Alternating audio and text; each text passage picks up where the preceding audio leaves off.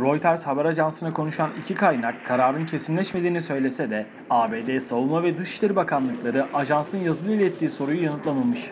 ABD, Türkiye'nin S-400 satın alma kararını gerekçe göstererek F-35 savaş uçaklarına ait parçaların teslimatını askıya almıştı. Bu arada Milli Savunma Bakanlığı'ndan Bakan Hulusi Akar'ın dün ABD Savunma Bakan Vekili Patrick Shanahan ile telefonla görüştüğü duyuruldu.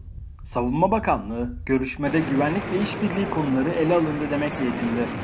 Akar hafta başında S-400'lerin teslimatının gecikebileceğini söylemişti. Bugün Rusya Devlet Silah İhracat Şirketi Rosoboronexport, Türkiye'ye S-400 sevkiyatı süreçleriyle ilgili bir değişiklik olmadığını açıkladı.